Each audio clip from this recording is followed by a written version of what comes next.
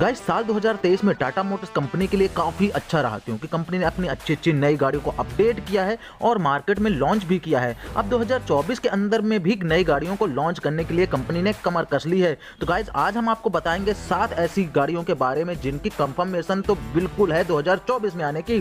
तो गाइज़ चलिए शुरू करते हैं इस वीडियो को। आज हम बताएँगे इन गाड़ियों के बारे में। हेलो गाइज़ मेरा नाम है RJ Sharma tech teacher channel में आपका स्वागत है। तो गाइज़ चलिए शुरू करते हैं।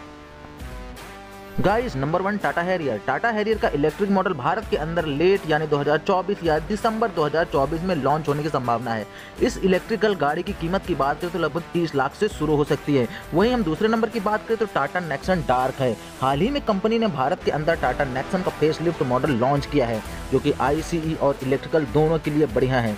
इस गाड़ी का डार्क एडिशन भी भारत में लॉन्च होगा। इस डार्क एडिशन की कीमत की बात करें तो लगभग ग्यारह लाख तीस हज़ार से शुरू हो सकती है। यहाँ गाइज़ हम तीसरे नंबर की बात करें तो टाटा एल्ट्रोज रेसर है। गाइज़ टाटा एल्ट्रोज रेसर को पहली बार 2023 में ऑटो एक्सपो में शोकेस किया गया था। ये गाड़ी एक्सपोर्टियर वर्जन है, जो कि रेगुलर टाटा एल्ट्रोज का है। और इसकी कीमत की बात करें तो 10 लाख रुपए से शुरू हो सकती है। वही 2024 में इस गाड़ी की लॉन्च भी कंफर्म है। इसके अलावा हम बात करें चौथे नंबर की तो टाटा कर्व है।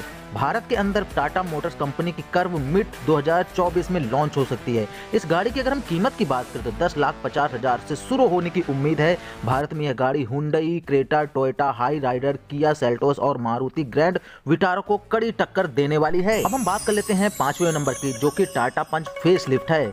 बजट सेगमेंट के अंदर ही कंपनी की पंच गाड़ी सबसे ज़्यादा बिकती है। और, और इस गाड़ी के फेस लिफ्ट मॉडल को भारत में टेस्टिंग के दौरान भी देखा गया है और जल्द ही इसका फेस लिफ्ट भी लॉन्च किया जाएगा। इसकी कीमत की बात करें तो सबसे बेस्ट यानी छह लाख बीस हज़ार ऐसी शुरू हो सकती है। यहाँ हम छठे नंबर की बात करें तो टाटा कर्व ईवी है। मार्च 2024 में टाटा कर्व का इलेक्ट्रिक मॉडल भारत में लॉन्च होने की उम्मीद है। इस इलेक्ट्रिक गाड़ी की कीमत की बात करें तो लगभग 20 लाख से शुरू हो सकती है।